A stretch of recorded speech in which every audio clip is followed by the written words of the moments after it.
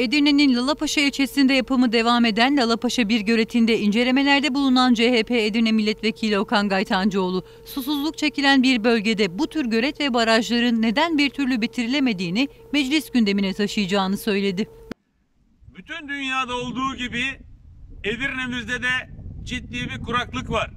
Hatta neredeyse içme suyu sıkıntısını ciddi anlamda çekmeye başladık.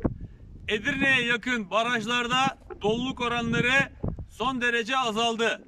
İçme suyu sağladığımız Kayalıköy Barajı kurudu. Süloğlu Barajı'ndaki sular da yavaş yavaş azaldı.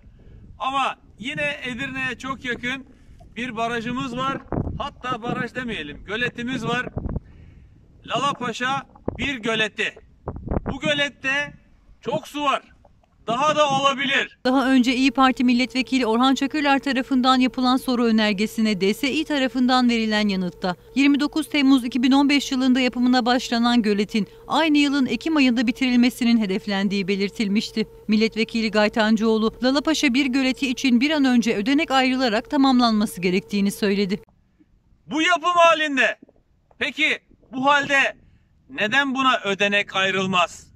Türkiye Büyük Millet Meclisi gündemine taşıyacağım. Bu kadar sıkıntı çeken, susuzluk sıkıntısı çeken bir ülkede, bölgede böyle barajların bir an önce bitirilmesi ve halkımıza e, içme suyu ve tarımda kullanılacak sulama suyu sağlanması için elimden ne geliyorsa yapacağım.